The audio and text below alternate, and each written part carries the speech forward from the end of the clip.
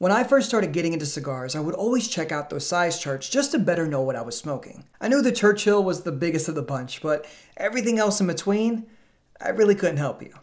Every now and then, though, I would see a chart that had one of the craziest looking cigars I had ever seen in my life. And this is where the story begins.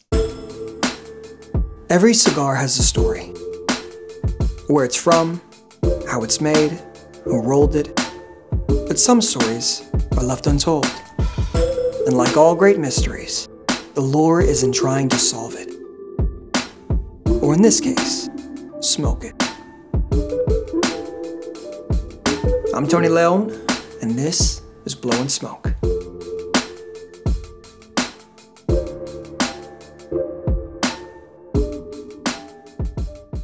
If you are a lover of the leaf, then there is no question that you forgot everything you knew about cigars when you saw this one.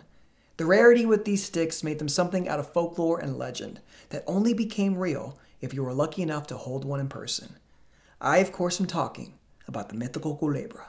Named after its shape, the culebra weaves a snake-like pattern intertwining three cigars into one. This is done using panatelas that are underfilled, leaving them more malleable and able to twist without cracking to be tied at the ends with a ribbon or string. Now, there are very few details on its origin, but some believed it was a way to discourage theft within the cigar factory by handing out these braided bundles for the rollers to smoke instead of the main product. Another theory is that these vitolas were sold as a novelty item, because after hitting the market in the late 1800s, no one had ever seen a twisted cigar before, let alone three.